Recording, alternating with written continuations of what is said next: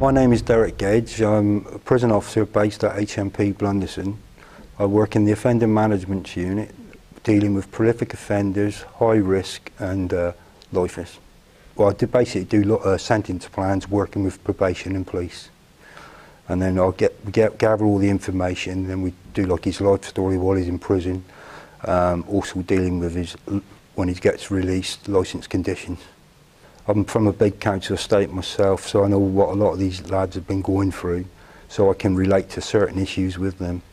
Because we also deal with um, parole review boards, where we sit on the parole review boards in front of the judges, and we've got to be answerable to them. So everything we do has got to be fact.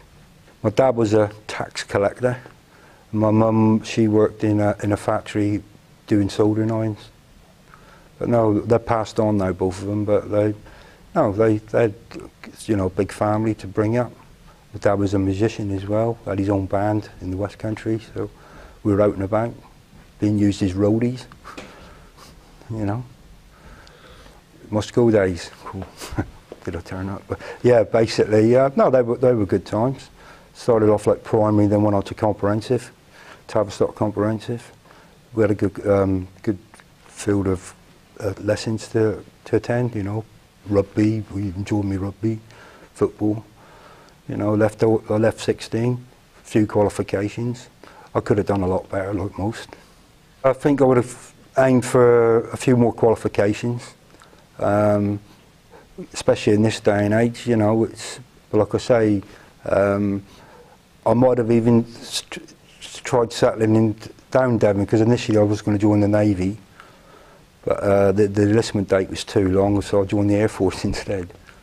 I was in the catering section, um, well, cooking for, well, when we went to strike command in High Wycombe, was up to two, three thousand a day, three days a week, you know, three times a week. But the wife didn't like it, so we decided to, um, with a young family, she didn't want all the moving around, so we decided to, that I would come out.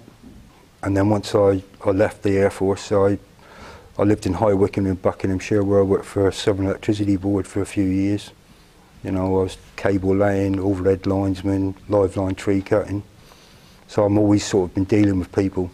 When I thought I'd join the prison service, I thought it was going to be like, um, like the armed forces. Um, a, it's not just a uniform, but I, I prefer that environment because uh, I don't really like Civvy Street, as I still call it Civvy Street. Um, I don't think you're treated right personally, but at least in a uniform, you, you know what you're doing.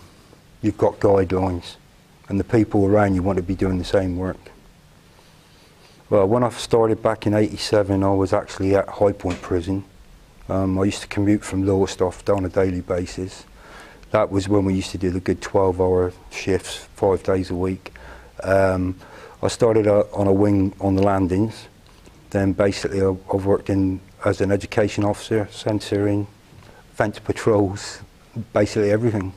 And initially, I've got to be honest, it was for the security and financial gain. Well, you, you can start from the bottom and make your way to the top. A few of my colleagues are actually governors who I trained. I think they picked my brain first, but there you go. Um, but, the, the, you know, if the people want it, it's there for them.